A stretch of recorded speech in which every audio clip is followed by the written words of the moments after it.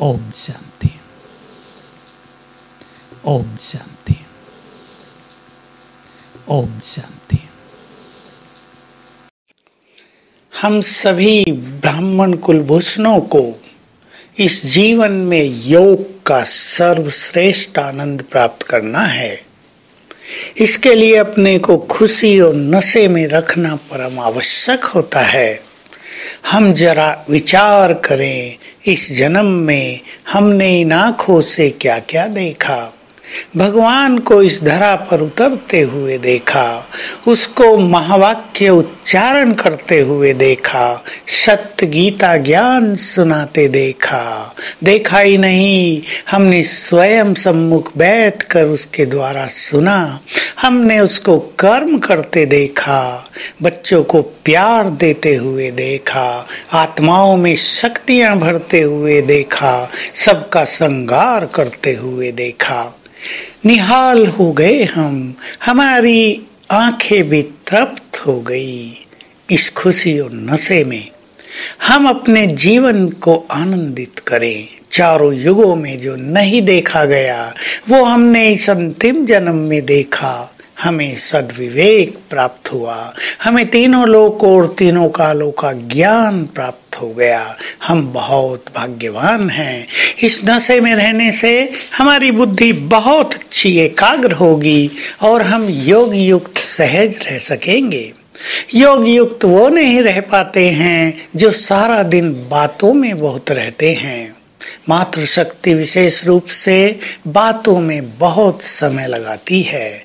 जो बातों में है, जहाँ बातें हैं, वहाँ बाप नहीं रह सकता। क्योंकि बुद्धि उन बातों के चिंतन से भरी रहती है, उसमें स्थान ही नहीं बचता जिसमें भगवान आकर बैठे। तो जिसको योगी बनना हो, वो बातों से स्वयं को मुक्त करे। दूसरी बात मोह ममता ये बहुत बड़ी माया संसार में छाई हुई है। इसमें सभी मनुष्य लिप्त हो गए हैं। किसी को अपने धन संपदा से आसक्ति है, ममत्व है। तो किसी को मनुष्यों में, बच्चों में, पोत्रों में, धोत्रों में बहुत मोह पैदा हो गया है। ये मोह उन्हें सता रहा है। ये मोह उन्हें दुखी कर रहा है। ये मोह जैसे मीठा जहर बन गया है। ये ऐसी चीज़ बन गई है जिसको न छोड़ा जा सकता, न रखा जा सकता है। लेकिन बाबा ने इसको छुड़वाया है। हमें क्योंकि घर वापस जाना है। मोह ममत्व लगाव, झुकाव यहीं छोड़कर जाना है। अगर हम मोह ममता में फंसे होंगे तो जाना बहुत कठिन हो जाएगा। आत्मा इस देह में उलझ जाएगी और जितना समय उलझी रहेगी, अति कष्ट पाएगी। मोह ममता दुखदाई है, प्यार सुखदाई है। कई लोग इस बात को समझ नहीं पाते कि मोह छोड़ दें बच्चों की पालना कैसे करेंगे? उन्हें पता ही नहीं कि मोह और निर्मल प्यार अलग अलग होता है। आत्मिक स्नेह अलग है और ये दैहिक मोह अलग है। मोह का नाता देह से, प्यार का नाता आत्मा से होता है। तो सभी जो निर्मोही बनना चाहते हैं, उन्हें आत्मिक प्रेम धारण करना होगा। इसके लिए साथ साथ आत्मिक दृष्टि का अभ्यास करना होगा। आप जिनसे भी आपको मोह है, आपके बच्चे हैं, उनके बच्चे हैं, उन सभी के लिए ये दृष्टि रखो, ये सब आत्माएँ हैं। अब इस अंतिम जन्म में हमारे पास आई हैं। इससे पूर्व जन्म में किसी और परिवार में थी। इससे अगले जन्म में किसी और परिवार में होंगी। अब हम इनके माता पिता हैं। अगले और पिछले जन्म में कोई और रहे हैं। तो इस तरह हमारा आत्मिक भाव बढ़ता जाएगा और बहुत अच्छी अनुभूति होगी निर्मोही होने की।